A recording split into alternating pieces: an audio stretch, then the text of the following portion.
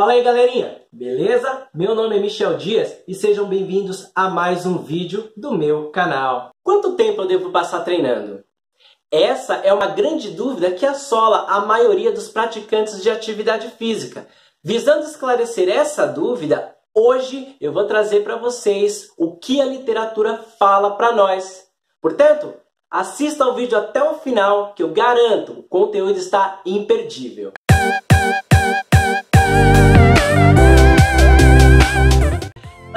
Mais nada, eu já vou pedir para vocês se inscrever aqui no meu canal e tocar o sininho da notificação, porque assim você é avisado a cada conteúdo que eu liberar. E isso me ajuda e muito, me incentiva demais a continuar a produzir conteúdo de qualidade com fidedignidade para vocês. O colegiado americano ele fala pra gente que devemos dar ao menos 11 mil passos ao dia ele recomenda ainda 150 minutos de exercícios físicos.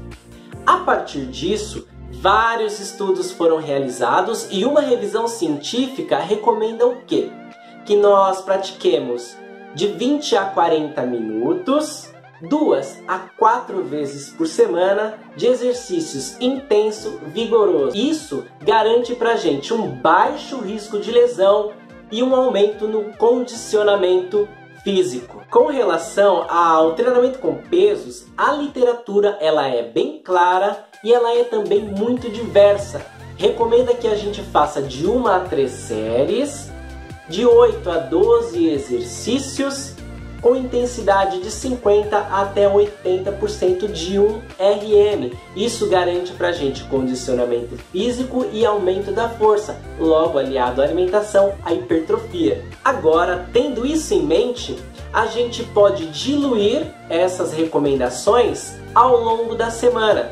Por exemplo, 20 minutos de exercícios aeróbicos a 80% do VO2 máximo e 40 minutos de treinamento com pesos naquele esquema de 1 a 3 séries, de 8 a 12 exercícios, com intensidade de 70% de 1 RM. Nesse sentido, nós estaremos dentro das recomendações do colegiado americano, a gente vai conseguir condicionamento físico, vai ter um baixo risco de lesão. A intensidade, galera, bem como o tempo de treinamento deve ser flexibilizado de acordo com o condicionamento físico de cada indivíduo. O que é para o indivíduo iniciante não se aplica necessariamente a um cara que já é avançado. Portanto, esse treinamento deve ser pensado por um profissional de atividade física, de exercícios físicos, por um profissional de educação física. Curtiu o vídeo?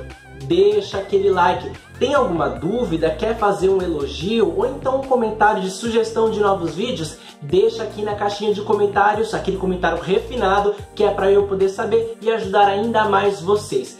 Quer me ajudar ainda mais? Compartilha nas suas redes sociais. E por falar nas redes sociais, me sigam no meu Instagram, mdias.nascimento. Aqui ó, no meu Twitter, eu, Michel Dias, aliás, arroba eu, Michel Dias, e também na minha página do Facebook, facebook.com barra mdiasnascimento. Galerinha, é como eu sempre digo, no brand, no gain. Meu nome é Michel Dias e é nessa que eu vou.